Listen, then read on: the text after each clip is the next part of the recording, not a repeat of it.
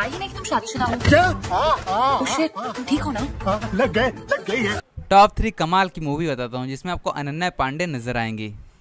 Number three पे आती है गहराइयाँ, जो आई थी 2022 में, जिसके रेटिंग है 5.8 की कहानी। बिल्कुल आज की जनरेशन की कहानी है जिससे हम प्यार करते हैं, कब उससे दूर हो जाते हैं? रिश्तों की मर्यादा आज के समाज में बची ही नहीं है। सब कुछ होते हुए भी कुछ और पाने की चाहत में जिंदगियाँ बर्बाद कर बैठते हैं।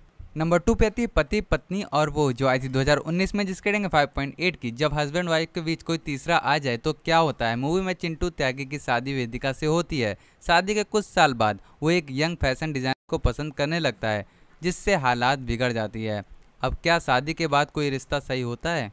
नंबर वन पे थे ड्रीम गर्ल टू जो आई थी 2023 में जिसके टेंगे सिक्स की। ये कहानी मथुरा के एक लड़के, करम की, जिसके पिता जगजीत सिंह ने खूब सारा कर्जा लिया होता है। और दूसरी तरफ़ करम को परी से प्यार होता है लेकिन परी के पापा ने शादी का दबाव बना रखा है। अब करम करे तो क्या करे?